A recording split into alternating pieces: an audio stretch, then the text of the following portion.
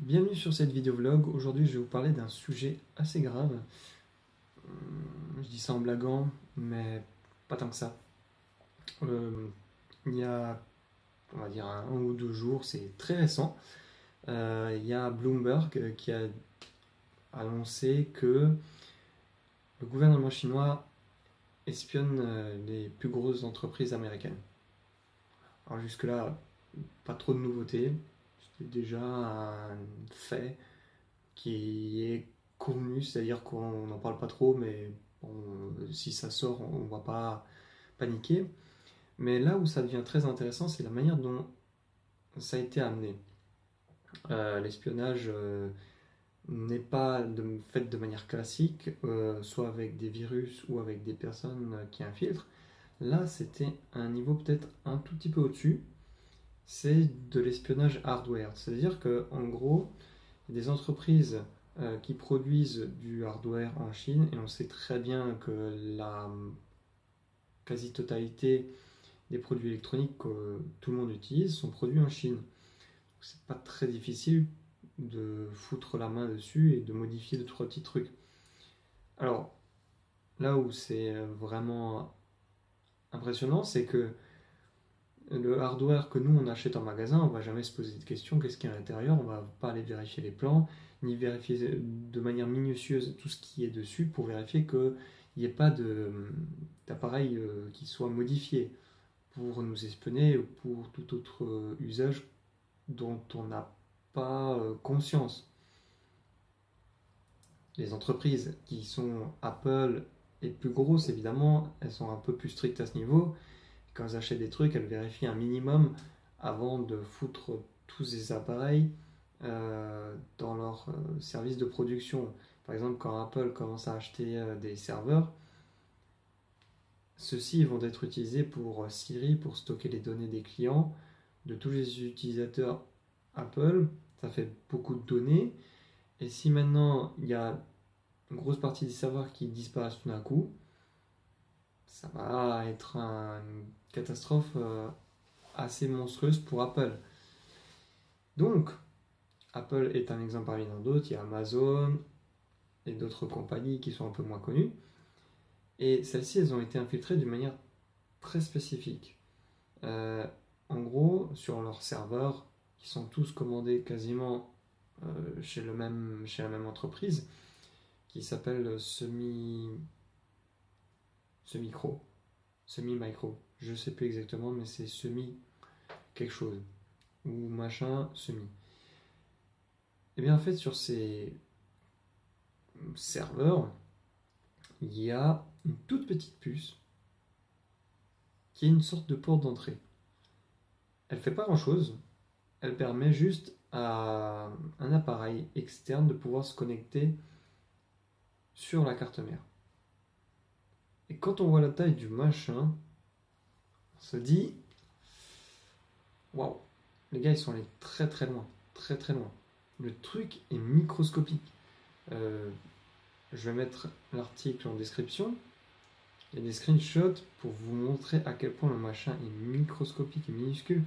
D'autant plus que le machin est microscopique, ils se sont démerdés pour euh, donner l'impression que ce truc est un petit élément de, la carte mère euh, tout à fait banal.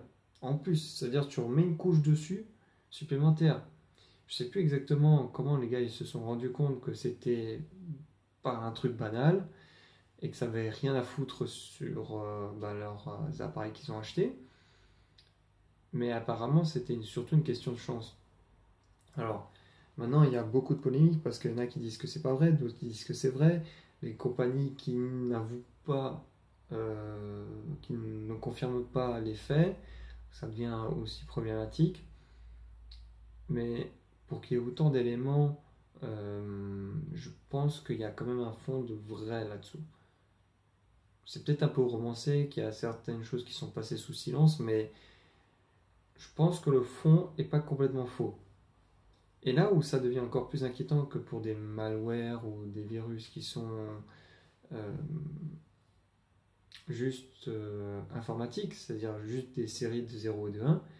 Là, c'est hardware, c'est-à-dire qu'il n'y a pas de patch possible Et il n'y a pas d'antivirus qui puisse euh, détecter ce genre d'infraction. Impossible. C'est juste impossible. Parce que ça va intercepter le signal d'un point à un point B, quoi qu'il arrive. À moins de, dessouder la puce, il n'est juste pas possible de, dire euh, fais gaffe, euh, virus, essaie de deviner un truc que tu ne sais pas de base, tu ne peux pas savoir, qui est impossible de savoir. C'est comme essayer de comprendre la quatrième dimension alors qu'on est dans la troisième dimension. C'est le même principe, c'est le même concept. Il pourrait se passer des trucs de ouf autour de nous, on ne se rendrait même pas compte.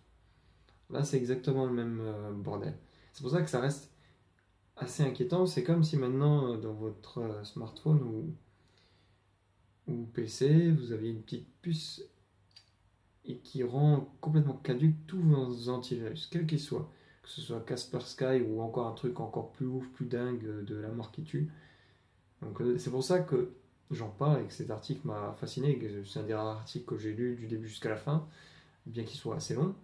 Euh, parce que c'est vraiment très intéressant de voir comment, euh, comment ils ont réussi à niaquer tout ça. Il y a beaucoup de spéculations, puisque évidemment, euh, tout le monde nie en bloc ce qui se passe, autant les victimes que ceux qui sont accusés. Parce que personne ne va avouer, ni Apple, même si c'est vrai, parce qu'ils vont pas dire oui, écoutez, on a acheté des trucs, et ces trucs ben, ont donné accès à tous nos serveurs, sur lesquels il y a toutes vos données. Bon, bon on ne sait pas trop ce qui s'est passé. Voilà, c'est tout. Bye. Je suis pas sûr qu'Apple serait capable de faire ça. Euh, surtout qu'ils ont.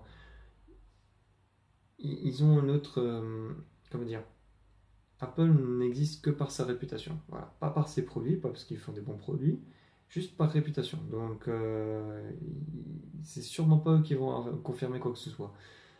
Chez Amazon, c'est je crois que c'est le silence mort, il n'y a pas grand chose, alors qu'Apple il remet une couche pour dire non, non, non, non, non, il s'est rien passé, il s'est rien passé. Donc voilà, c'est pour ça que c'est peut-être faux, mais je pense pas que ça soit complètement erroné. Il doit y avoir quelque chose là-dessous qui, fait que c'est pas, pas du blabla dans le vide. Et même, euh, ça, nous permet de nous rendre compte, même si c'est une, une histoire un peu romancée, de nous rendre compte que on est vraiment très naïf. On, se dit, euh, j'ai acheté cette marque, je lui fais complètement confiance, elle pourrait nous foutre 50 euh, doigts dans le cul, on ne ressentirait absolument rien. Donc n'hésitez pas à aller voir le lien de l'article qui est dans les commentaires. Laissez aussi des commentaires, ce que vous pensez de, de ça, cette euh, histoire. Laissez un pouce bleu ou un pouce rouge mettez un favori, faites des vidéos. Et je vous retrouve pour d'autres vlogs. A plus.